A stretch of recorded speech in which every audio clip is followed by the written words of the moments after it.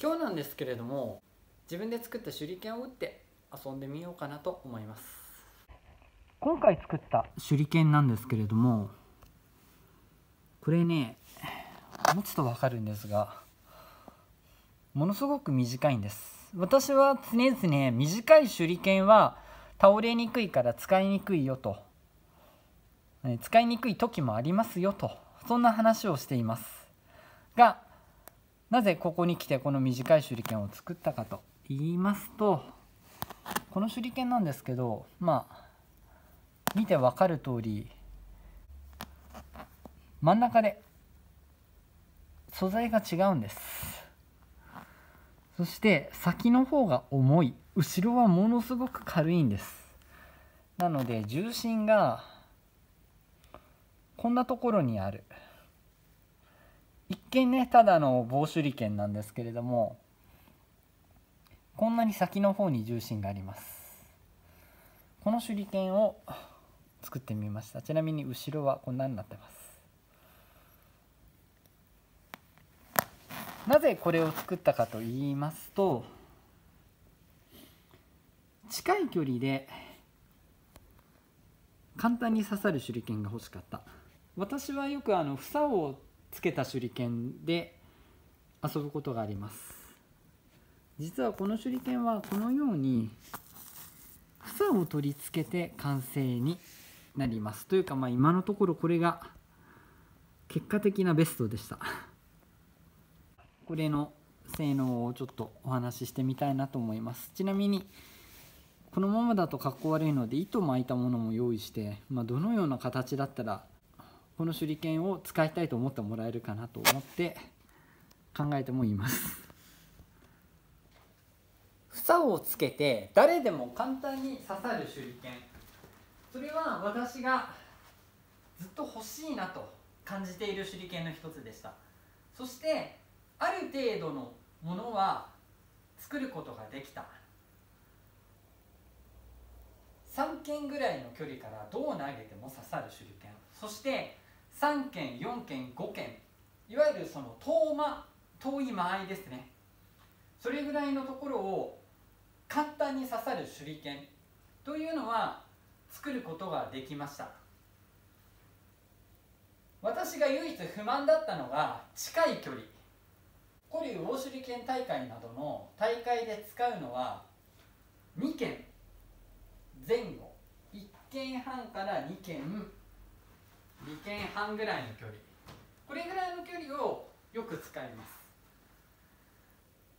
こういう房をつけた手裏剣の欠点の一つとして飛ぶ軌道として一度切先が落ちます。それが戻る。そしてこの直線距離が長くなって刺さる。というのがこういった房付きの手裏剣なんですけれども一度落ちて戻る。この動きの関係上近い距離って刺さりにくいんです。だから3件とかそれぐらい以上の遠間でよく刺さる手裏剣になっていた。でも私は近い距離でよく刺さるものが欲しかったんです。なのでまず一つの課題はこの首打ちをいかに早く行ってしまうか。もう極端な話が手元でもさっさと首を落としてしまってその後で風の抵抗でまっすぐに戻す。これをどうやったらできるかなと考えてたんですけれどもやはり極端な前重心後ろにかなりの軽量素材を継ぐ。そして房をつける。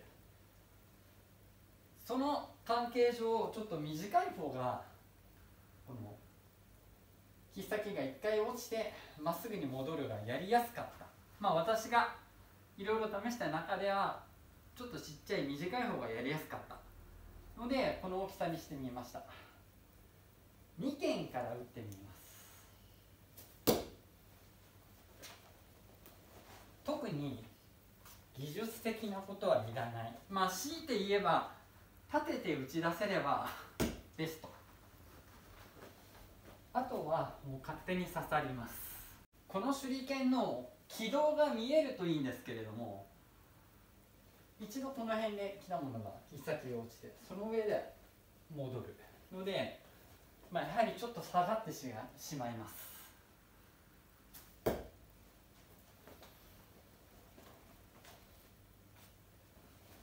あとはこういう手裏剣の場合半回転打法のように切っ先を手首側自分側に向けます。そうすることで実はまっすぐ飛びます。この2つの打ち方。まあ半回転打法と言いながらも半回転はしないんです、えー、直打法の逆ですね。こう飛ぶんです。何度か言いましたが切っ先がこう向く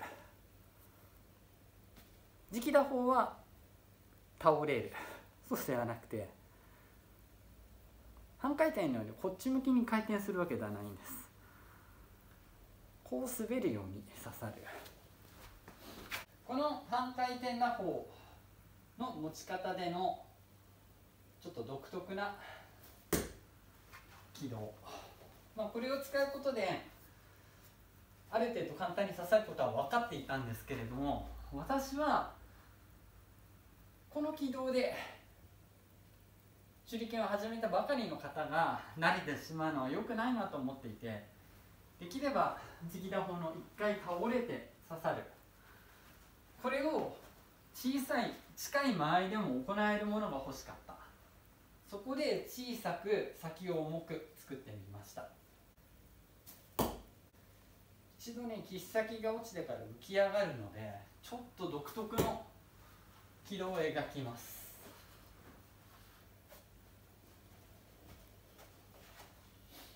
が一応近い距離2軒ぐらいの距離でも刺さってくれるものになった。1.5軒でもなんとか刺さるこの独特の軌道が見えるといいんですけれどももう一度いきます。後でスローにもします。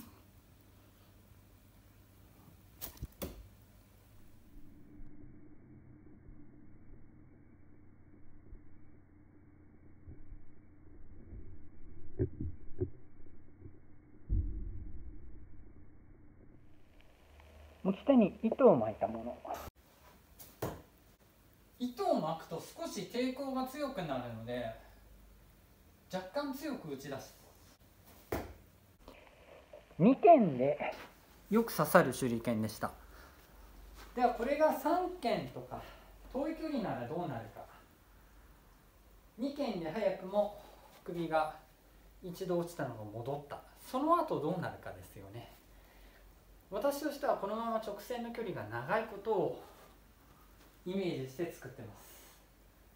つまり同じ打ち方で長い距離でも刺さる。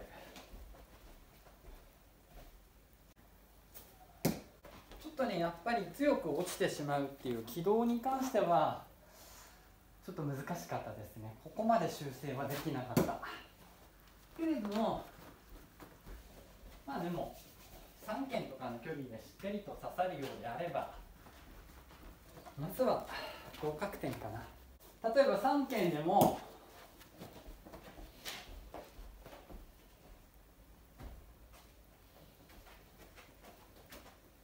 2軒でも刺さる。これは強いと思ってます。近間でも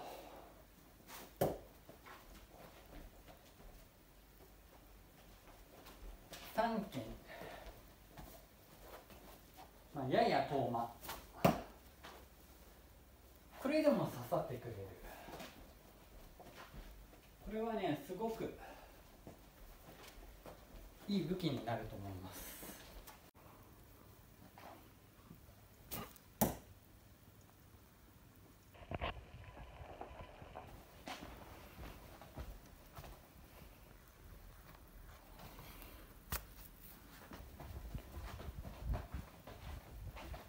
もう少し離れて4軒行ってみましょうか。今4軒ぐらいにいます。ちょっと落ちるので高めに打ち出すイメージ。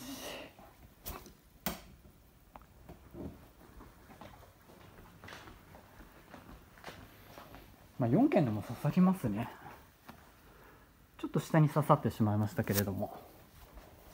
まあこれはちょっとカメラを片手に持ってるのでどうしても仕方がないんですけれども。ちゃんと届きさえすれば、まあ、ちょっと落ちてしまうので若干上を狙って打てば4件でも安定して刺さる。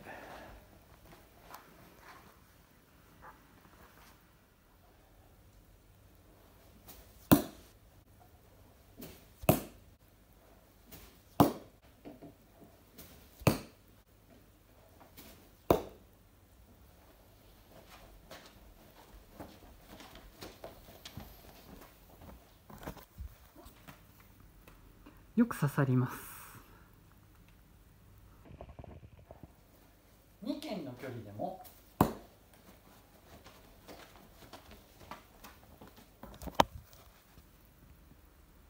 3軒の距離でも。そして4軒の距離でも。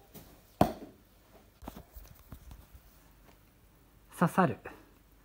遠間だけでなくて近間にも対応できたというのは自分の中で目標にしてたことなので、まあ、とりあえず1件半2件この辺りが対応できるようになった。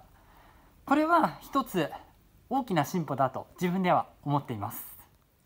というわけで今日は自作のミニ手裏剣。これで遊んでみました。思ったよりもいいものが出来上がりました。まあ、私はこの直打法の軌道で簡単に刺さる手裏剣が欲しいなとずっと思っていました、まあ、ちょっとねまだ1回落ちた後戻るので軌道が思ったより下に刺さってしまうんですよね。本当はこう刺さってほしいんですけどこうなってしまう、まあ、ここは構造上仕方がないんでしょうけれども私が今回やったのが3軒から2軒の距離でもこれが刺さるようになる。つまりこれを極力小さくしたかったんです。